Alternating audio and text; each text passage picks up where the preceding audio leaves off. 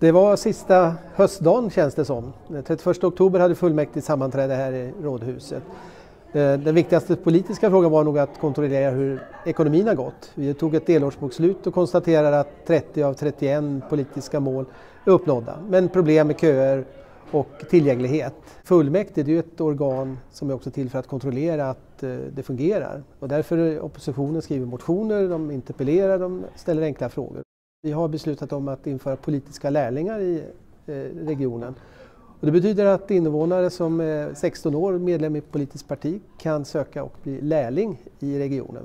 Och vi har också tagit två policy och riktlinjer. Den ena handlar om eh, hur vi jobbar med medborgardialoger. Ett väldigt bra instrument eh, framförallt när man ska gå ut och prata med medborgarna. Och sen också riktlinjer kring det. Vi har tagit en kommunikationspolicy eh, som allt detta är politisk enighet de här tre senaste frågorna. Eh, och sen har vi också diskuterat hot och våld mot förtroendevalda.